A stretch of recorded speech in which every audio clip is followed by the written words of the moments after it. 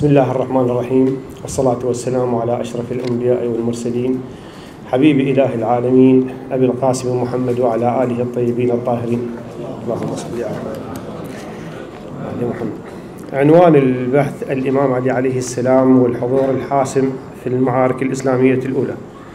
هنا يجب أن نركز على نقطة مهمة جدا ليس في الجانب المادي لحضور الإمام علي عليه السلام وإنما في الجانب الروحي والديني والسماوي لهذا الحضور.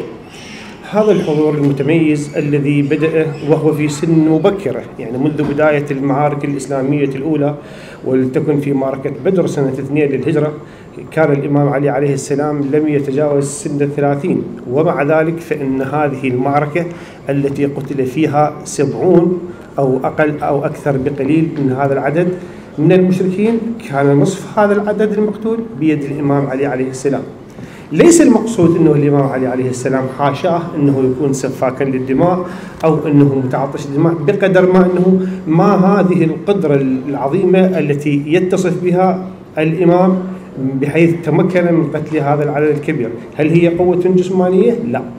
هل وإنما تدل على شيء مهم جدا وهو صدق العقيدة وقوة الإيمان بهذه الرسالة الإسلامية العظيمة.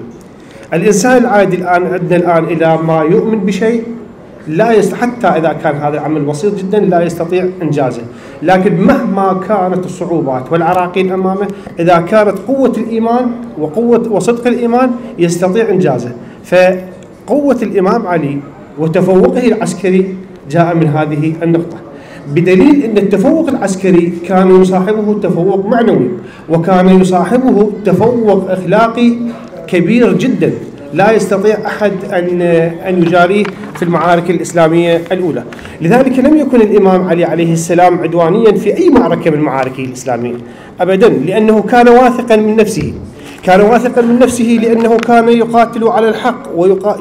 من أجل الحق ويعرف نفسه إنه على حق ويقاتل من أجله، لذلك كان يتقدم نحو خصومه بخطى ثابتة دائما. إخلاقيات الحرب عند الإمام علي عليه السلام نجدها واضحة في العديد من النصوص الواردة عنه. ففي وصيته الرابعة عشر بخصوص عدم التعدي على النساء في الحرب. آآ آآ كون العرب كانوا يعيرون يعني من عادات العرب حتى في الجاهلية كانوا يعيرون الرجل الذي يرفع يده على المرأة.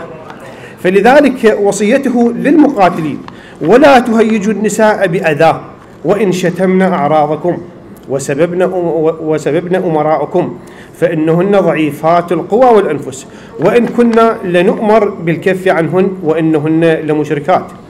وإن وإن كان الرجل أيضا يذكرهم في وصيته وإن كان الرجل ليتناول المراه في الجاهلية بالفهر والهراوة فيعير بها وعقبه من بعده. يعني مو فقط يعير بها الشخص اللي كان يعتدى على النساء بل حتى عقبه من بعده كانوا يعير بها. اذا أخلاقيات العرب الموجودة اللي يتصف بها الإمام علي كان يلقيها على مقاتليه قبل بداية المعارك. لا يخفى في مخاطبة بعض الناس الذين كانوا يعانون من الجهل في تلك الفترة خصوصا الضلال والمبين والجهل المطبق اللي كان يعاني منه بعض المقاتلين. ومع ذلك تمكن الإمام علي عليه السلام من خلال وصاياه في جوانبه الأخلاقية والمهنية والعسكرية استطاع أن أن يوصف هذا الشيء. لذلك كان يوصي جنوده قبل بدء القتال. لا تقاتلوهم حتى يبدأوكم. فإنكم بحمد الله على حجة. وترككم وترككم إياهم حتى يبدأوكم حجة أخرى لكم عليهم. هذه الحالة وهذه الصفات الأخلاقية العظيمة اللي موجودة عند الإمام علي كمقاتل عسكري ودوره الحاسم في المعارك الإسلامية الأولى نابعة من الصدق العالي والإيمان الكبير بدور الإمامة الذي هو دور ملازم للنبوة والذي أكدته الروايات الإسلامية وأكدته الرسول صلى الله عليه وسلم في حديث الثقلان من أن الإمامة والنبوة متلازمان وأن القرآن والعترة الطاهرة لن يفترقا وبما أنهما لن يفترقا هذا دليل على أنه هناك تلازم كبير ما بين العترة أو ما بين الإمامة والنبوة لأنهما امتداد للرسالة الإسلامية.